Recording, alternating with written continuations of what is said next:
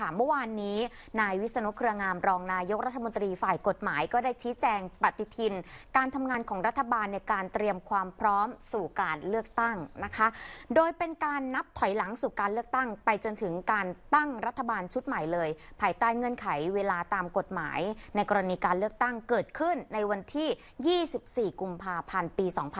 2562 ค่ะโดยเริ่มจากวันที่ 11 ธันวาคมนี้นะคะ พรปประกอบรัฐธรรมนูญว่าด้วยการเลือกตั้งสสก็จะมีผลบังคับใช้ โดยกำหนดให้ จัดการเลือกตั้งภายใน 150 วัน จากนั้นจะมีการประกาศใช้พระราชกฤษฎีกา ว่าด้วยการเลือกตั้งสสพร้อมทั้งปลดล็อกคำสั่งคอสช ให้พักการเมืองสามารถทำกิจกรรมทางการเมืองได้และระหว่างวันที่ 16 ถึง 27 ธันวาคม ทางคณะกรรมการการเลือกตั้ง ก็จะคัดเลือกสอวอทั่วประเทศ รวม 200 คนส่งให้กับทางคอสช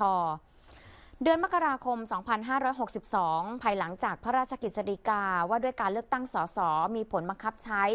กกต ก็จะต้องออกประกาศกำหนดวันเลือกตั้ง วันรับสมัครสส แต่ละเขตภายใน 5 วัน และพักการเมืองก็จะต้องส่งรายชื่อผู้ชิงตำแหน่ง นายกรัฐมนตรีให้กับทางกกต ภายใน 25 วัน หลังจากพระราชกฤษฎีกาว่าด้วยการเลือกตั้งสส ประกาศใช้ ซึ่งผู้ที่ได้รับเสนอชื่อเป็นนายกรัฐมนตรี จะต้องทำหนังสืออนุญาตยินยอม ให้เสนอชื่อได้เพียงแค่พักเดียวเท่านั้น ต่อมาเดือนกุมภาพันธ์ปี 2562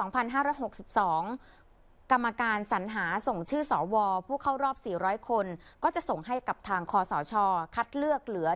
194 คน และวันที่ 24 กุมภาพันธ์ จะเป็นการเลือกตั้งสสทั่วประเทศ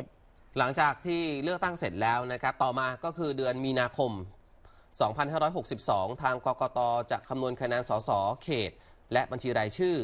พิจารณาให้ใบเหลืองรวมทั้งจัดเลือกตั้งซ่อมนะครับ ถ้าเกิดว่ามีถ้ามีนะครับ อันนี้ค่ะแล้วก็ต่อมาเดือนเมษายนนะครับ วันที่ 24 เมษายน 2562 จะประกาศผลการเลือกตั้ง ก็อยู่ในกรอบภายใน 60 วันนับจากการเลือกตั้งตามที่กฎหมายกำหนดไว้ค่ะวันที่ 27 เมษายนนะครับขึ้นทุนเกล้ารายชื่อสว ต่อมาเดือนพฤษภาคมนะครับวันที่ 8 พฤษภาคมคาดว่าจะเป็นวันเปิดประชุมรัฐสภานัดแรก เพื่อที่จะโหวตเลือกประธานสภาผู้แทนราษฎร ประธานวุฒิสภา และตำแหน่งนายกรัฐมนตรี เพื่อนำรายชื่อขึ้นทุนเกล้าจากนั้นนะครับจะมีการแต่งตั้งรายชื่อคณะรัฐมนตรีเพื่อนำขึ้นทุนเกล้าเช่นเดียวกัน โดยคณะรัฐมนตรีชุดใหม่จะต้องเข้าถวายสัตย์ปฏิญาณตนเข้ารับหน้าที่ และแถลงนโยบายภายใน 15 วัน และทั้งหมดนี้ก็ถือว่าจะสิ้นสุดการทำหน้าที่ของรัฐบาลชุดนี้ชุดเดิมนะครับค่ะแล้วก็ทางคอสชด้วยค่ะแต่ทั้งหมดที่พูดมาก็แน่นอนนะครับ ยังต้องเป็นตามกรอบก็คือเลือกตั้งวันที่ 24 กุมภาพันธ์นี้นะครับค่ะ และเดือนมิถุนายนปี